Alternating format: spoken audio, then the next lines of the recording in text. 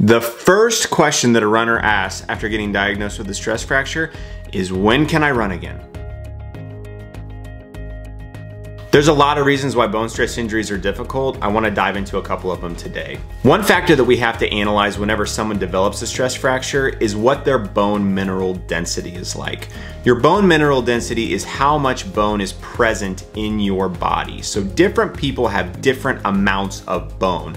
Some are more dense, some are less, and the amount of bone that is present is a really important indicator for how strong someone's skeleton is. Having a strong skeleton tends to decrease our risk of developing stress fractures.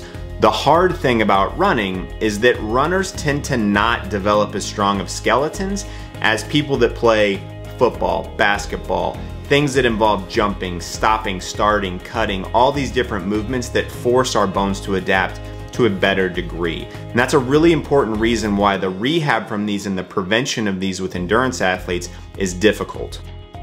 This is one of your bones. So this is your tibia. Now your tibia on the outside looks very similar all the way around. And what we see is that if we were to snap this thing in half, that there would be two types of tissue present inside this bone. The first of those tissues would be cortical bone.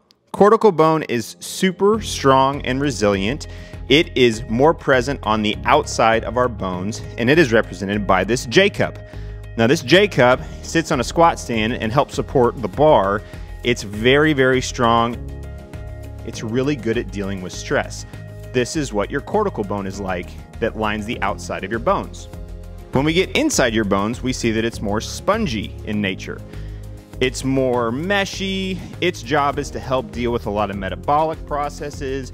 It's affected to a greater degree by our nutrition, our hormone levels, and lots of different things like that. Together, these form a comprehensive unit that allow our bones to deal with the stresses of running.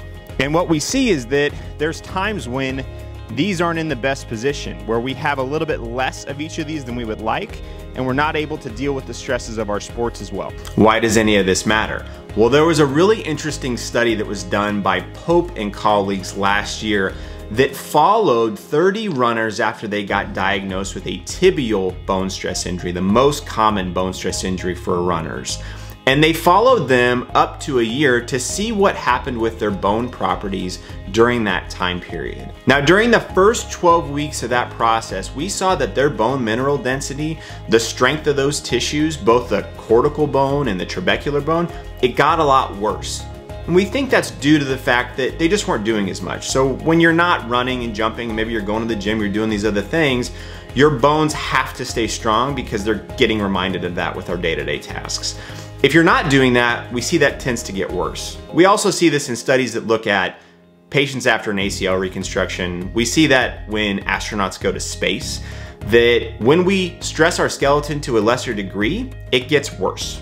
Now, as they continue to follow those 30 runners over that entire year, they saw that most of their bone properties returned back to normal. So their bone mineral density and how much bone was present, that came back to normal.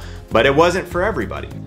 10 of the 30 subjects, one third of that group sustained another bone stress injury during that time period. That's not very good. Eight of those subjects showed that they had less bone mineral properties at that year-long follow-up. So the strength, kind of the basic properties of their bone, it hadn't returned to normal after that year-long period. Six of those runners didn't return to running at all, and one of them sustained two bone stress injuries during that time period that's not very good. And that's what we see in the real world as well, not just in research studies, is that these can be very easy to re-aggravate. And I wanted to go through two different things I think can help so we don't see this trend moving forward.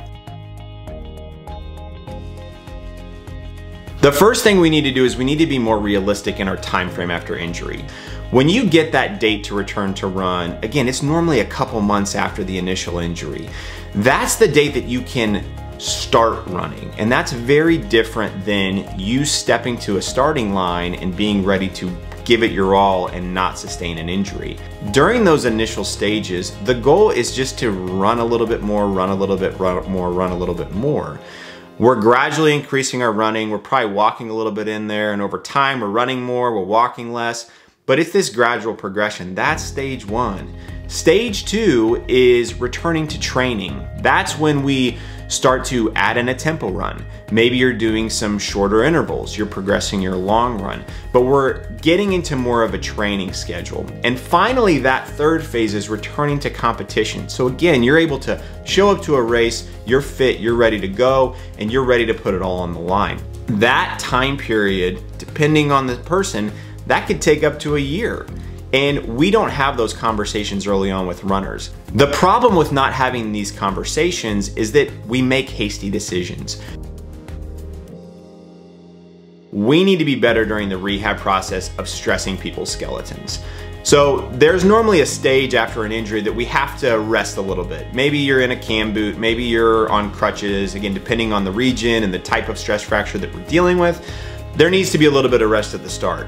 But we need to be really mindful about stressing that bone over and over and over again and making that progressively harder as they go through the rehab process. And so to me, before a runner even starts their return to run progression, they need to be squatting, they need to be deadlifting, they need to be going through plyometrics. That needs to be done in a calculated manner, but we need them to deal with those forces before they even run because those things, just like playing soccer is better than running when it comes to bone health, those things are better at making our skeleton stronger. Let's make sure that we're having realistic conversations with patients about realistic timelines with recovery from these.